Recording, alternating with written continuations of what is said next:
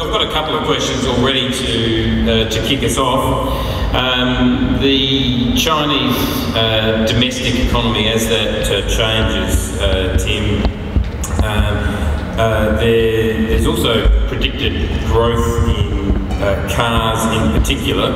And I, one thing I noticed when I went there last time, and I'm sure most people have noticed, is that the roads are pretty darn congested.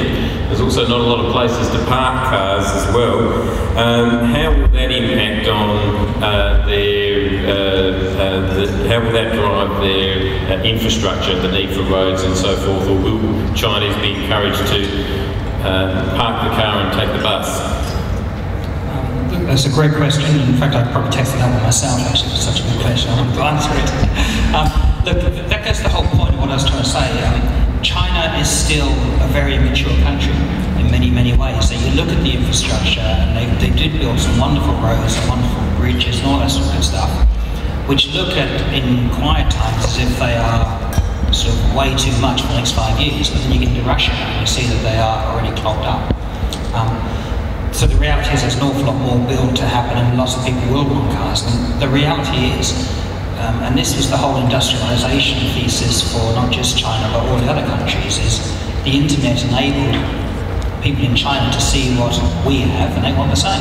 So they're going to want cars. They're not going to stop them having cars. They're going to want it. The game that China's trying to play very carefully is to make sure that not everyone moves to Beijing or Shanghai, which is where everyone wants to move to, but move them elsewhere around the, the country as well, so that they can have cities um, reasonable enough size that the roads don't get too clogged. But I think absolutely expect everyone to want their own car at some stage or other. Now maybe they won't quite get one each. And I presume they want to drive it on the road too. Yeah, absolutely right. And they'll be, but they're, they're, what they won't do, so, and they've got different levers which they're using all the time. Again, it's really a three-hour talk, so be careful on this. But the Hukou system, which they basically have, which doesn't enable migrants to move to a different city and get access to healthcare or education and that sort of stuff.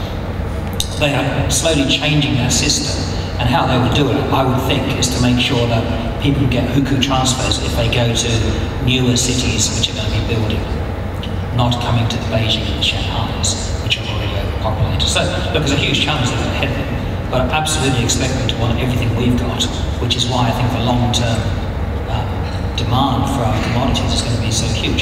Yeah, they'll do public transport a lot better than we do. I mean, as a country, we probably do the worst public transport anywhere in the world because we've got so few people and so much space, so we don't need to do it. But most other places do public transport than we do, and you'll see it in China for sure, but still we have cars. Drew, on the same note, obviously increased cars, but also the more people that are urbanised and increased energy consumption, both of those energy sources uh, need oil and gas and other types of energy. How do you see that driving uh, demand in China, but not just China, India, other developing uh, countries as well? How do you see that driving demand for oil and gas? Very good question. I think um, you're right. China has industrialised amazingly over the last 10 years, but it has a long way to go there's still a huge population which lives very basic, very low energy intensity lives that will um, themselves start to participate in China growth over the next 10 to 20 years.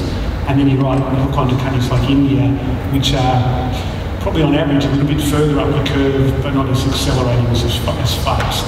Um, the question I always worry about with China is China's population is going to age quite rapidly over the next 10 to 20 years and how that's going to impact the longer term growth. But there's some great charts the IEA produced which show um, GDP versus energy consumption and it shows countries like the UK and the US who 100, 150 years ago industrialised and they plot on the same charts countries like China and India and they're only just starting. Um, so there's a long way to go. The question is, is while um, the Western world went through this energy intensive process over the last hundred years, will China follow exactly the same path? Um, they, they might skip a couple of the steps. Um, and it's interesting how that'll play out. But certainly demand's still increasing. We're still seeing oil demand grow one, one and a half percent a year for a long time yet. Drew, you mentioned India, and uh, I have a question for Tim here. Uh, it said you didn't have time to uh, discuss India much. Do you see that country driving up demand for minerals in the near future? Um, near future, no. Long-term future, yes. Um, it, the Chinese system, why has China done this? Because the system of government enables, whereas the system of government in India disenables, undoubtedly. But you've got 1. Point whatever billion Indians who have access to the internet and see what they want and can see the Chinese getting wealthier and they aren't going to get happy. So if the government doesn't actually do it for India, the people will make it happen again. This goes to the social harmony piece of it. Um, and I do see that certainly happening. So look, India at some stage will definitely do it. I think with Modi as the Prime Minister, he's giving it a bit of a crack, probably the best crack we've seen for a long time.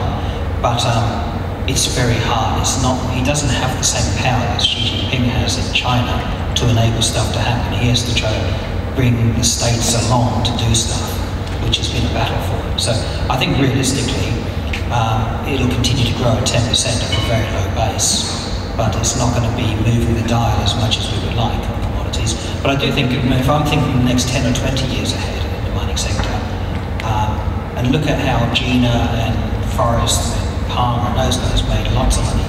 They picked China was going to need to was going to grow, and they were short of iron ore very early on. So, looking at India ten years hence, what are they short of? It's not iron ore, by the way.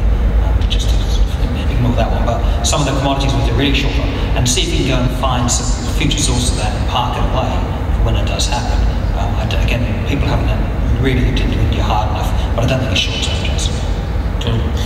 Drew, you spoke of a possible $70 oil price. Um, how does how do you think the Australian dollar in, will impact on that in that sort of same time frame? Predicting oil price and predicting the exchange rate are both very hard things to do. Um, the Australian dollar tends to be commodity linked. Oil is a commodity. Um, it tends relatively the association with other commodity prices So the Australian dollar has provided a bit of a natural hedge to Australian um, producers, as it were. But in Australian dollar terms, the oil price is not down, it's probably down 45% as compared to the 60% it is for US dollar exposed producers. That's a good thing. Um, for Australian consumers, it works the other way. It's holding the price we pay at the pump and the price we, pay to drive our, whole packs around, holding it up a, up a little bit. Of course, there's a huge tax component in there, so even the oil price doesn't isn't the largest component of what we pay. Um, but yeah, the Australian dollar has been very good. It's been it's taken a bit of pain out for this. I must emphasise the Australian dollar exposed oil producers. Um, if you're building a big LNG project, it's a bit harder part of will cost through Australian dollars, but a large part of the cost was US dollars. So that hedge isn't perfect. Okay. Um, whilst we're talking about oil, uh, one of our uh, one of the people in the audience today asked us about the break-even oil price to justify use of supply from North American shale uh, oil. Don't need to put all the caveats on it. Just give us your best part. Um, it's, it's like um, assuming that there's one price. There's not. There's a whole range of prices. Um, cheap shale probably makes sense at $40 a barrel. Expensive shale probably takes 110 and everything in between. The median shale oil producer, maybe $60-$65 a barrel, about where we're sort of forecasting the oil price to be. So the US shale is not going to leave the market completely, it's just going to be smaller and its rate of growth is going to be less. And I think this is part of the reason why Saudi Arabia is the biggest producer sort of acted um, late last year rather than trying to put a floor under price. They said, no, that's enough. We're going to we're going to sort of we're going to defend our market share. We're not going to let the US keep producing oil willy-nilly. I think part of it was the fear that once the shale journey was out of the bottom, you couldn't put it back. So shale, shales a very common, common geology, it's all around the world. The industry has only emerged in the US so far because very dynamic industry and lots of installed infrastructure. If high oil prices had persisted for another five years, we would have ended up with a shale industry in Australia and in Canada and in Europe and in Russia. And then where's OPEC, where's Saudi Arabia? They're stuck in heading towards irrelevance. So they couldn't allow that to happen. So I think they had to act, and that's part of the reason why they have moved in the opposite direction to bring prices down.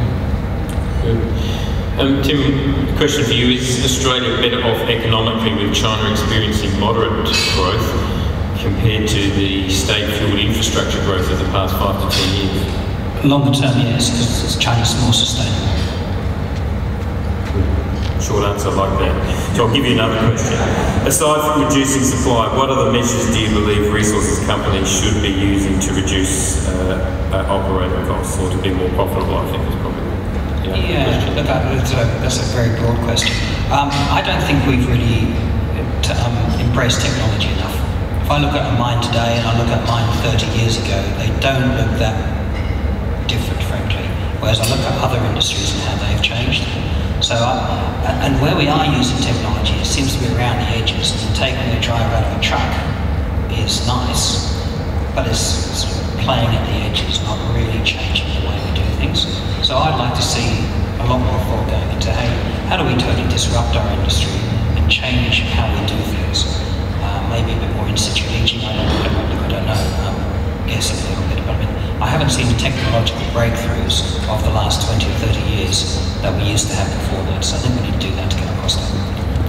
That's probably a good point. I think we've seen a lot of discussion around innovation and R&D in the copper tr- strategy discussions, and uh, and I know that that's going to be on the agenda for the SACOM Council next year. Terry Burgess has uh, uh, just brought that up with me this week, in fact, that uh, of how important innovation is for, for the industry.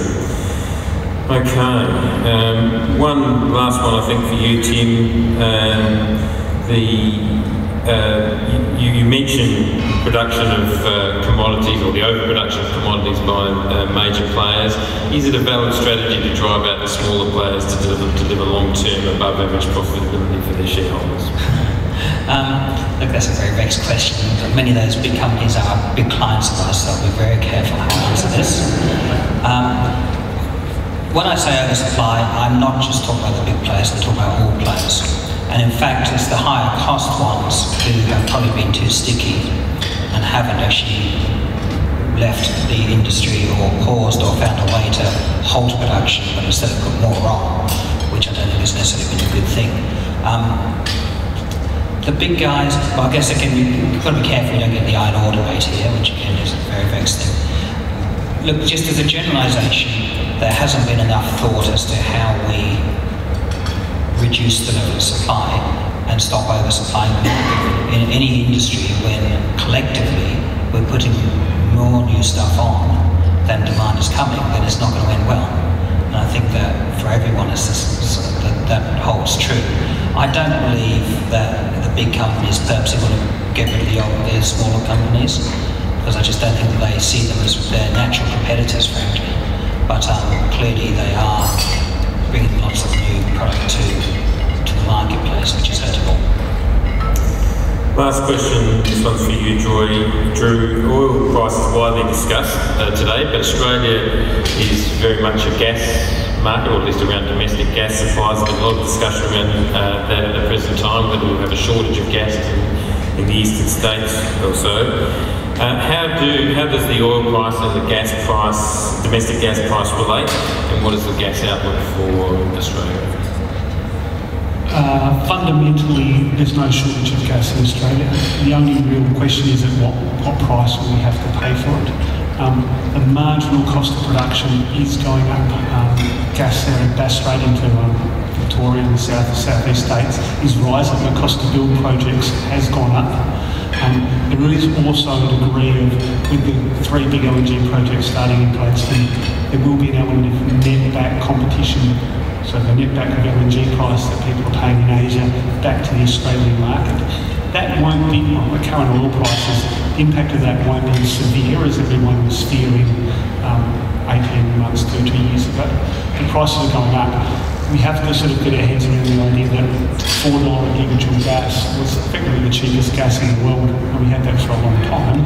The cost to produce gas now, the marginal cost of production, is getting closer to six and a half, seven dollars. You should be thinking about that's where gas prices are going to head. Um, There is no getting around it. But back to my original comment, there's fundamentally no shortage of gas. We've got gas supplies in Australia for hundreds of years. If we're going to extract the economic benefit of that, no point leaving it in the ground. We will be exported as LNG. We've got a lot of projects being constructed at the moment. We're probably going to have a pause in the construction process because oil prices are low. But ultimately, that will go.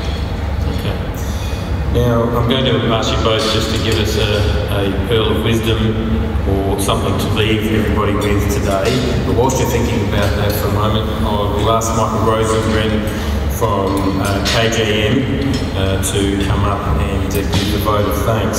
So hopefully that's given you just a, a, few moments extra to think about that pearl of wisdom. I should have warned you about that beforehand, uh, but um, who'd like to go first? Um, yeah, thanks for the warning. Um,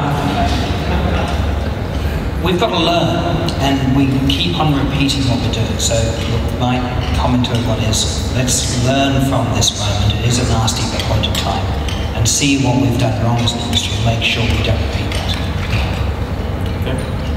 Uh, industries are cyclical, we do need to learn, but there are products out there which you can use to smooth out that volatility in price. You can hedge hedging was a dirty word in the Australian industry for a long time, but with hindsight, I bet lots of us wish we'd hedged when prices were at all-time high. You don't hedge all your production just enough to help you cover your operating costs if you get that downside case, because it won't convert, but it can keep you in business and get you through.